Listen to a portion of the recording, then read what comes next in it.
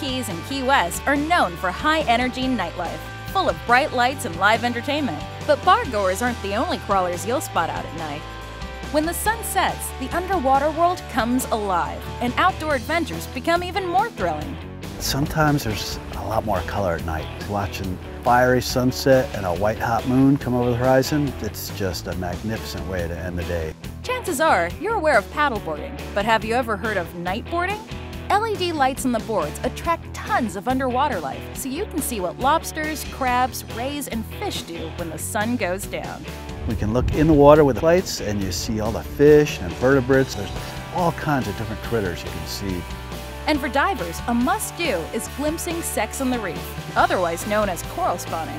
During the full moons in August and September, corals along the Keys living coral reef release millions of eggs and sperm in a synchronized mass reproduction ritual that looks like an underwater snowstorm.